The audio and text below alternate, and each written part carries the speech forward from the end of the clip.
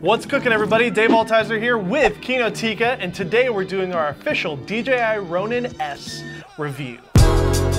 We've had the DJI Ronin S now for about a month and we're just now doing this review because I really wanted to get to know the gimbal before I gave you my thoughts on it. So before we get into a lot of the details of the Ronin S, I just want to give a brief lesson in gimbals. The handheld gimbal has come a long way since the original Movi was first announced and it really came from the technology that was developed throughout the years with drones. We needed to attach cameras to drones and the problem was always without any type of stabilization the blades of the drone going back and forth just caused a ton of shake. And so they had to develop these three axis gimbals to get all that shake out. It wasn't until FreeFly that anybody actually figured out, what if we took that off and put handles on it and made it a basically Steadicam replacement. So that's exactly what happened. FreeFly completely changed the entire industry with the Movi and DJI obviously took on their Ronin series of gimbals with the original Ronin to the Ronin M and now with the Ronin 2. And I always found that FreeFly had the best stabilization but usually not the best prices. Because they're designed in America, they're handmade by Americans, it typically was a little bit more expensive than the Chinese branded DJI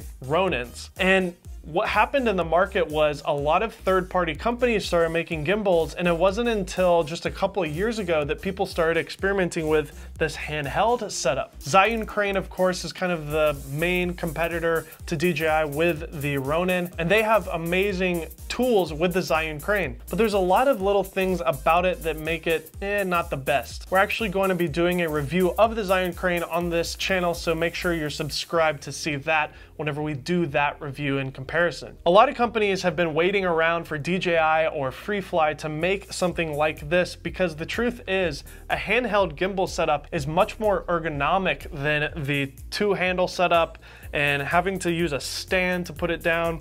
Movi created the little ring with the feet, and that was really cool. You can now get that with the new Movi Pro. You can buy accessories for the Ronin to get that, so you don't need a stand as much.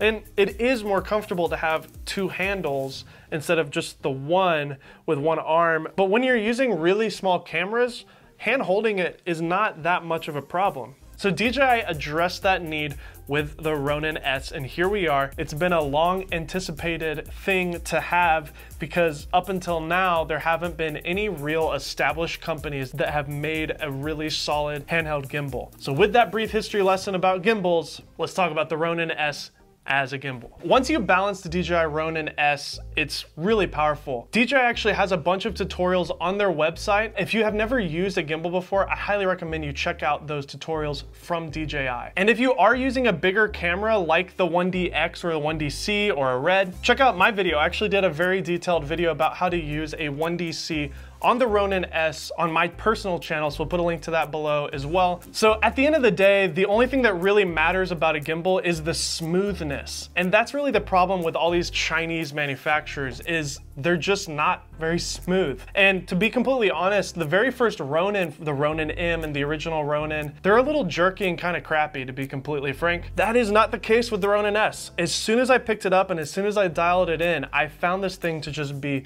super fluid and super smooth. Just a couple of years ago, to buy the best gimbal in my opinion, the Freefly Movi M5, it costed like $5,000. The Ronin S today costs $699. I know that that sounds like a lot of money, especially if you're starting out, but if you really think about how technology has been moving forward and how prices have been going down, 699 is a steal for a gimbal that's this powerful. You also have this joystick here, which is great to use in a pinch. I actually found myself using the Ronin S kind of like a monopod or like a shoulder cam. Because we have this joystick here, we can completely move the gimbal in different directions and get the shot that we need without having to use the gimbal like a gimbal in all cases. That's what makes the handheld gimbal setup so amazing is the versatility of it. It's not only a fluid gimbal or like a Steadicam, but it can also be used like a monopod or a tripod. One really great thing about the DJI Ronin S is the app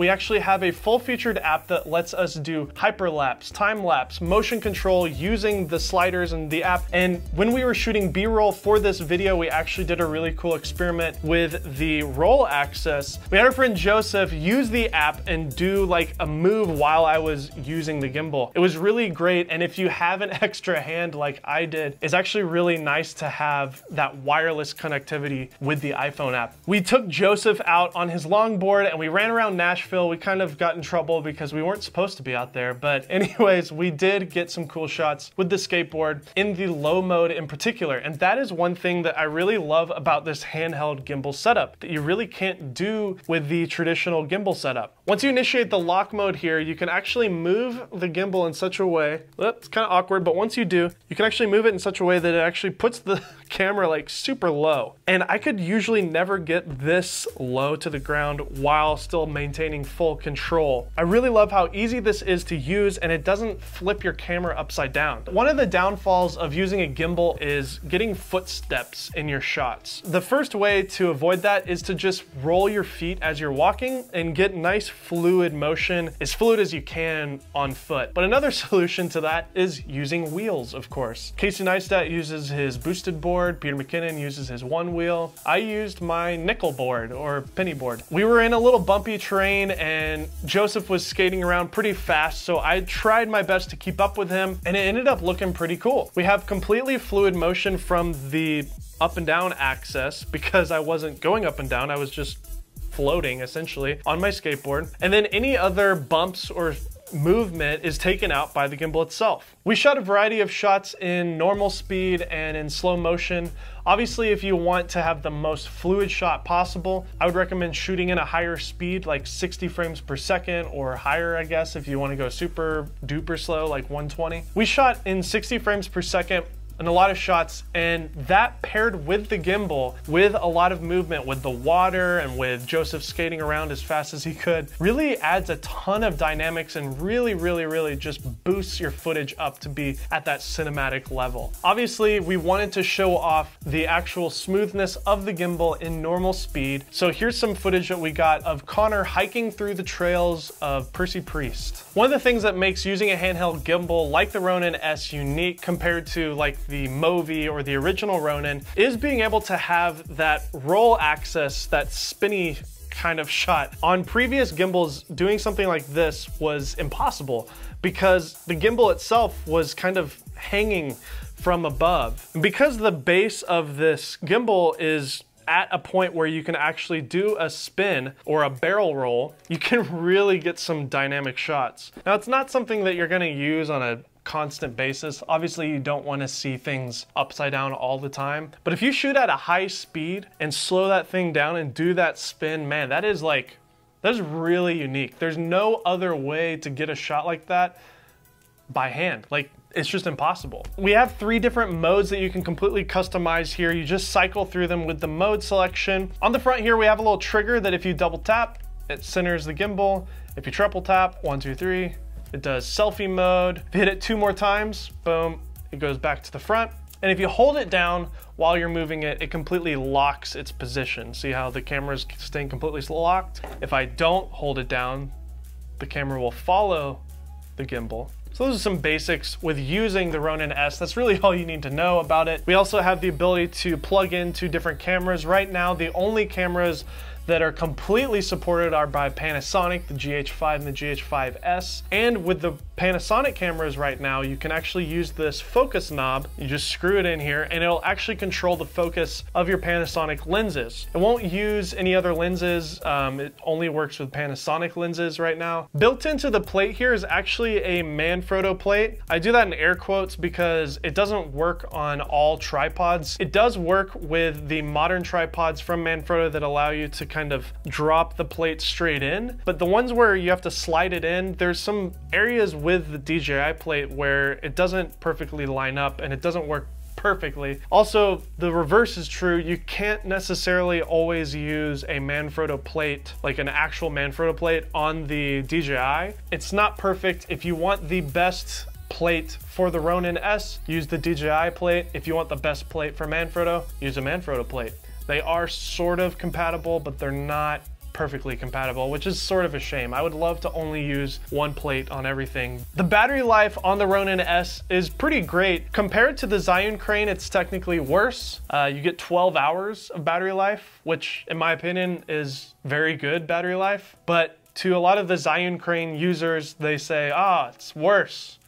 We get 18 hours, but I mean, like if there's anything more than four or five hours, you're like you're never going to run out of battery if you go with a full charge at the beginning of the day. I mean, if you're shooting for 12 hours straight, I feel really sorry for you. The one thing that I kind of don't like about the battery system here is the way that it works. I don't like how the battery system is the handle, but I also do like that it is the handle. I like that it is because it's really sleek, really comfortable to use, but I don't like that I have to take the entire handle off every single time I want to change the battery. Now, like I said earlier, it's 12 hours of battery life, so you're probably never going to change the battery. At the moment, there aren't any accessories for monitors. DJI told me at VidCon that they're working on a cheese plate that will go into the uh, screws here. That'll be great so that you can use all sorts of different monitors. Right now I'm kind of jerry rigging my small HD focus monitor on the handle here. And it ends up working really well because it's super lightweight. It's not taking up any clutter for the most part. I have a cable just goes in there. Another accessory that is coming soon from DJI is a hand grip system. The handle system like this is nice and lightweight, really easy to use. It's quick to uh, pick up and go, but if you're doing really long shoots, with heavy cameras, having two hands instead of one is gonna really help distribute that weight of the camera and kind of give you a little bit more comfort. The tripod comes with the gimbal and one little thing that I love about the tripod is they actually put some really soft rubber on the handle here. I say handle because it actually feels like a continuation of the handle. It's round, it's really comfortable to hold. With the Zhiyun Crane, they ship it with a tripod mount, but the tripod is just like sturdy metal and it's sharp and pointy. And so when you grab the handle here, it kind of hurts. And I really love the extra thought that went into this little tripod because it really continues with this nice soft rubber grip. All right, let's just get this out of the way. The Ronin S is pretty heavy. Without a camera on it, it is 4.1 pounds, which is slightly more than the Zhiyun Crane 2. For reference, the Movi M5 is 4.8 pounds. This is 4.1 pounds and it's much smaller. So that really makes it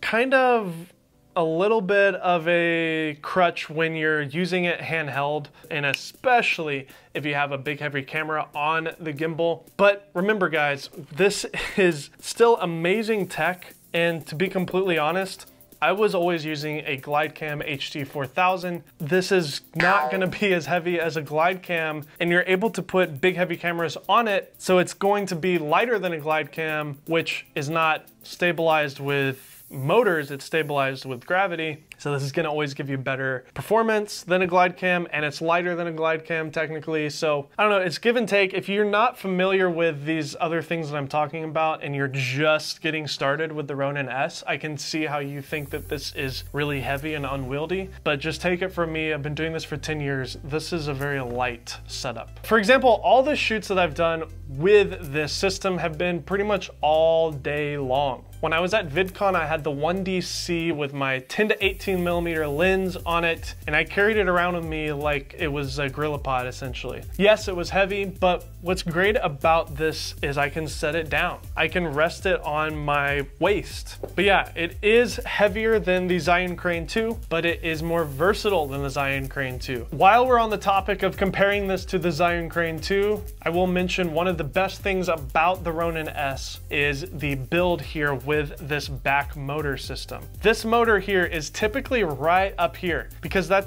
kind of makes sense from a gimbal maker's perspective. It's the most natural position to do it. So throughout the years, motors have always just been right here, which is unfortunate because it's right where your monitor is. If you have a flip out screen and you've got the Zhiyun Crane 2 and the motor goes up on the screen here, it's not much of a problem because the screen flips out. But where it really gets in trouble is when you have a screen that is just locked like this, and then you can't see your shots at all and you're forced to use a monitor. What's great about this system is obviously the placement of the motor here being at an off angle. And I really love how genius this is to have the motor off axis like that. Because the Ronin S is using the algorithm from the Ronin 2, this gimbal is very, very smooth. My problem with all other gimbals in the past has been, with the exception of the FreeFly system, gimbals just kind of have a robotic look to them. Even when you try your best to dial in the settings, it's just hard to get away from that robotic movement. The Ronin S, in my opinion, has really come up to where the FreeFly system has been in the past with its smoothness. In the app, you can adjust the settings for the smooth track, and I highly recommend playing around with that and just finding the best settings. I found that with the pan and tilt,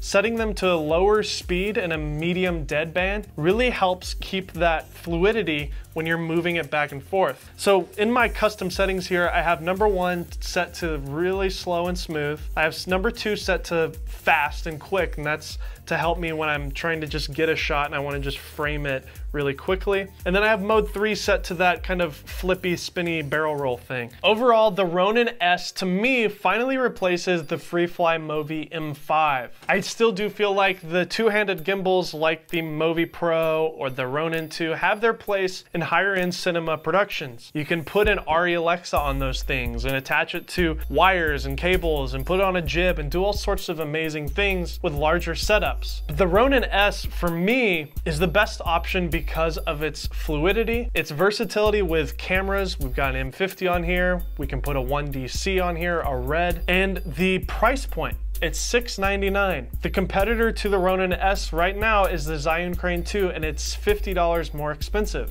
The Ronin S, if you're starting out, is really the best option all around for a handheld gimbal setup. If you're new here, thanks for watching this video and please hit that subscribe button because we have a lot more content coming soon that I think you will really like. I'm Dave Altizer. That is a World War II American flag. See you next time.